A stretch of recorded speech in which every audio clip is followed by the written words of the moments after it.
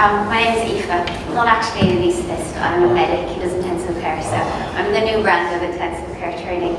Um, so I'm not an emergency medic is the first thing, but I will say that I did choose my first registrar job based on two things. The first was I really like the ITU at Coventry, and the second thing is that I really, really like the A&E department. So A&E is a very important part of my day-to-day -day life. So um, when Scott asked me to do a talk called How to Be an Awesome Learner, the first thing I thought was, I literally have no business telling anybody how to do that. I'm not very good at it myself. But the second thing I thought was, Irish people don't call themselves awesome. You definitely don't go around calling yourselves awesome. So I've had to change the title to something that is more fitting to somebody who was born and bred in Dublin. So the closest word that we have to awesome in Dublin is bleeding deadly. And it's important that you drop the G and make it bleeding that's what makes it real. Um, now I get that that's um, a less than appropriate set of adjectives to use for a talk on medical education, but I can say it without getting sick in my mouth, so I'm going to stick with it. Um, the second thing to say is, I think that healthcare professionals already know how to learn. I still remember that question in medical school I interviewed, tell us about your learning style. And I remember I didn't really have an answer for it then, and I don't really have an answer for it now. I went to school for 14 years and I went to university for eight years. Uh, I think you may as well ask me how I read. I just read.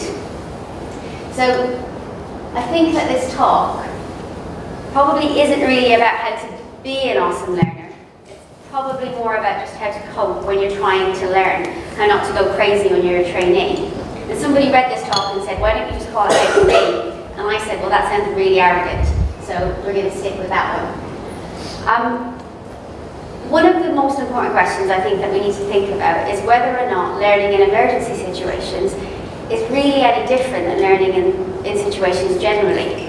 And I think it is. I think it feels different. It's probably something like reading a book on an armchair at home by yourself versus reading a book a foot away from the edge of the cliff with a gun to your head.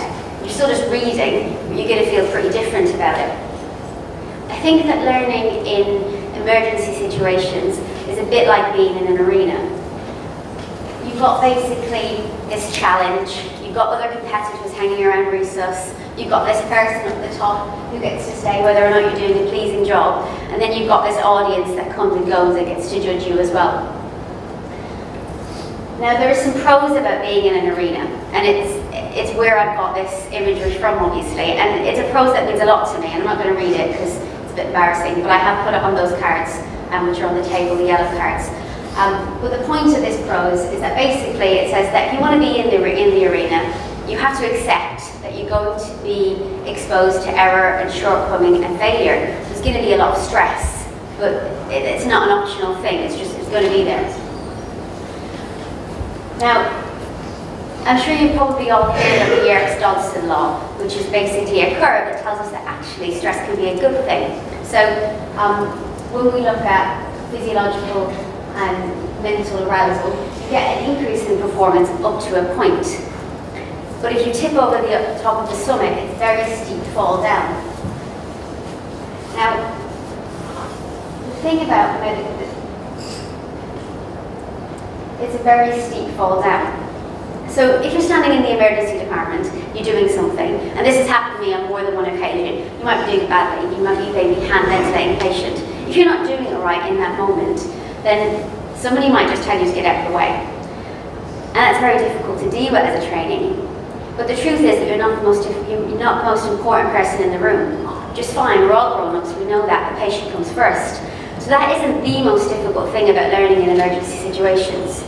Most difficult thing is actually that not everybody in those situations will act fairly. Not everybody's going to judge you fairly. And not everybody's going to be right about you. And some people will be, but they all get the same access. And you can't control it. Now, if you ask me, that is literally the most difficult thing to deal with as a trainee in an emergency situation. The thing about being a trainee, or any kind of medical professional, is that there's this kind of preconditioning. It's literally in this Declaration of Geneva that I stood up and read at graduation. I will give my teachers the respect that is their due. Being a teacher in the situation of medicine comes with this power, this kind of authority. And you get this power, whether you earned it or not, and whether you realize it or not. Now, if anybody ever asked me, maybe three, four months ago, if I thought anybody ever felt that way about me, like felt intimidated by virtue of my authority, I would have said no, of course not, I probably would have laughed at them.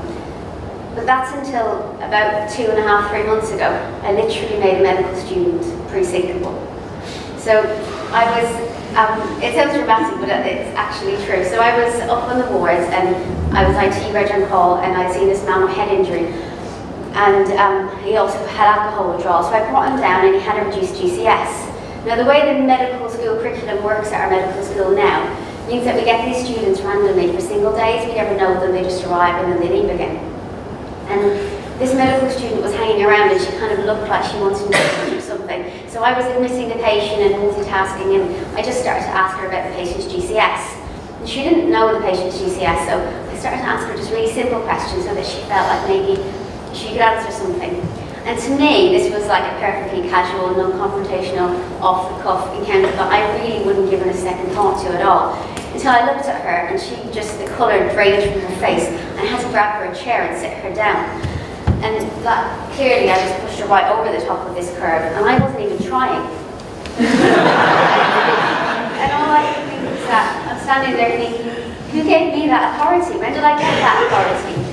But that's the thing, you get the authority whether you earned it or not and whether you realise it or not. The other thing about training is that being a trainee in medicine today feels a bit like being in school forever. It's not in the whole kind of the whole the whole world is a classroom philosophical happy sense. In the literal sense, you walk around and you're called junior doctors, doctors in training, and you spend a lot of time asking people to externally validate your learning and actually to externally validate you. And I think the risk with training today is that all this process of moving and external validation doesn't create strong, confident professionals. It kind of creates the equivalent of a dysfunctional child who moved 10 times during their school, their school years. Um, now, I do have some issues with kind of the tick box ARCP curriculum that we have today. But my main point is that the factors that control training from an external point of view in my opinion, they tend to infantilize trainees. They have a system that breeds insecurity, and genuinely, it is very easy to forget, even as a registrar, that you're a grown-up professional at all. So, I wondered what it was that we're actually looking for when we're bouncing around hospital to hospital trying to kind of have positive learning experiences.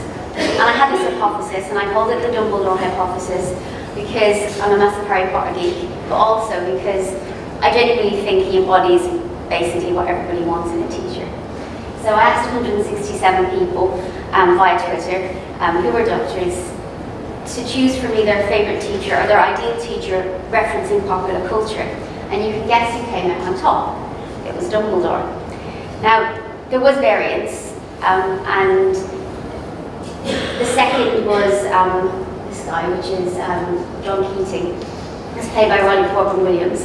Um, but the general theme of this wise, older, unfortunately man um, did prevail throughout the answers. Like somebody even chose Santa Claus. Um, two of the other most popular choices was Atticus Finch and Sir David Attenborough.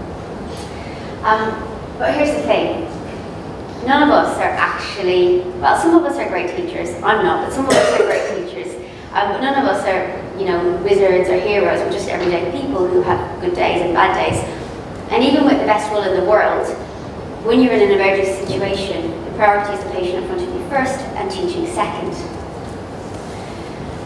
And yet we all have this power, this authority or something that's really important, somebody else is learning. We all have this power to help somebody learn to help them keel over. So, I think sometimes, I mean, I'm not trying to be very depressing. Sometimes you will meet people and they genuinely will be a version of Dumbledore or Miss Honey. But sometimes people are really just more Miss Trunchbull. And then there's this other type of people who John Hinds best described as resus wankers, who literally will come into your life they, they will have nothing good to give you. And there's this fourth type of people who will seem like the most unapproachable people you will ever meet, but actually turn out to be your biggest allies. So people are complicated, but if you want to succeed in learning within emergency situations, and this is what you have to put up with. Which brings me to a word that I don't like, which is resilience. And the reason I don't like this word is it's become this hollow and vapid term that's used to blame trainees for problems that are inherent to a system. But it is important because, like I said, I'm not an expert on medical education. And it took me a surprisingly long time to realise this. But when I'm not learning in my job, it is genuinely as simple as I just feel like I'm surrounded by more people that don't embody what I want in an ideal teacher unless, that, and less by those that do. So I asked the same 167 people what it was about those ideal teachers that made them ideal. What is it they're actually looking for? And again, those variants in the answers. But the general themes stood out quite strongly and it was nothing surprising. So what we're looking for is knowledge, patience, enthusiasm, clarity, encouragement, kindness and wisdom. So what is the answer? how do you get all of these things in your life when you can't even control who your teachers are or where you even go in the first place? And I think the answer is this. I think firstly, you have to stop expecting anybody to be all of these things. You have to stop expecting anybody to be any of these things. And the second thing is that you have to take responsibility for filling in the gaps yourself. Now, that taking responsibility for something that isn't your fault is a bit difficult because as a trainee it feels like you're saying it's okay that teacher A is really impatient and teacher B never encourages me. But accepting responsibility for making something better for yourself really has nothing to do with improving their behaviour. You're just doing what you can do to make things better. Now, this is a bit of an abstract concept, so I tried to think of an example that would work in real life. Um, and the best one that I came up with was this. So, um, I do love where I work. I absolutely love, love working in Coventry, um, but not everybody is who you want them to be all the time. So um, one day, it was just after Christmas, I was in resus and myself and the A&E registrar had taken a patient with asthma. And we'd been called, she'd been phoned as a medical alert and she was really sick. Paramedics had said that they thought she had respiratory arrest in the ambulance and bagged her for a bit. She came in kind of early 40s, and she was very sick. She had like an almost silent chest, not like completely silent. Her CO2 was nearly nine, and you know she was she was really struggling. So I'm looking at her and I'm thinking she's really sick. I might have to tube this this woman, and you know acute me. Everybody knows it. You know you know the indications for an intubation, but I'm looking at this woman, and for some reason I, I, I can't make the decision to tube her.